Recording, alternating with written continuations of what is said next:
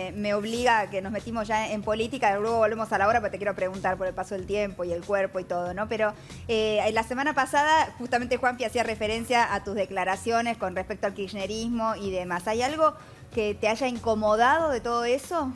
Mira, lo que me incomodó es cómo se levantó la noticia. Digamos, si vos ponés Silveira lapidó a Cristina Kirchner, obviamente mis amigos kirchneristas van a saltar como locos, porque lapidar es una palabra Fuerte. este, fuerte ¿no? Es, eh, es la lápida.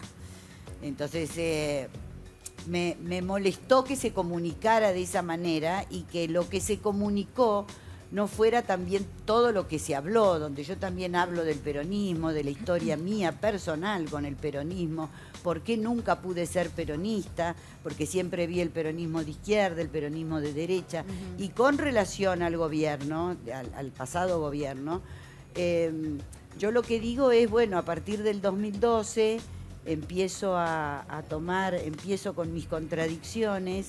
Tragedia y- de once. Tragedia de 11 te diría, le, le contaba recién a Mariana, que puede ser como una bisagrita, digamos, donde, pero donde empiezan mis cuestionamientos. Y no me acuerdo si en el 2013, seguramente sí, debe estar en las redes, este, debo haber ido a alguna reunión en Casa de Gobierno.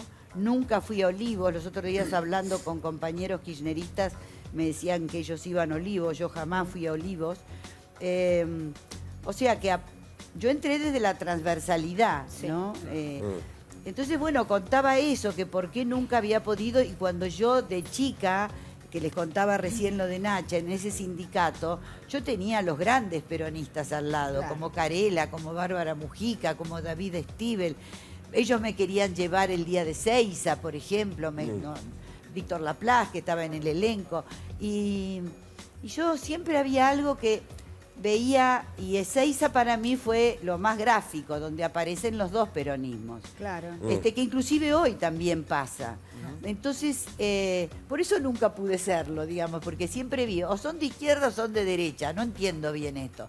Hoy las derechas y las izquierdas, con el paso de los años, ¿Y cómo te definirías vos Se políticamente? nos acaba el programa. ¿Vos que yo- se Me quiero morir. Yo estoy para quedarme una hora más Sí. No podemos seguirnos nosotros fuera Claro. del aire, por No, lo así menos. que de verdad te digo, porque bueno, fue una reacción muy fuerte la, la de algunos compañeros kirchneristas. Está bien que lo aclares. No, y no fue mi intención de ninguna manera ofender, ni nunca dije la pido a Cristina, para nada, digamos. Simplemente hablé esto que les conté Sí, ahora. desde tu opinión personal. Desde mi opinión personal, de lo que a mí me pasó, de lo que me significó. Seguro. Este, y nada, y hay muchísimas cosas que rescato desde los derechos civiles, imagínate, hay muchísimas cosas. Hablé muy bien de Charry, quiero decir, no. Pero te viste la necesidad. Claro, te, te sentiste agredida. No, y además, claro, me mataron, imagínate, empezaron, yo no vi nada, pero me dijeron que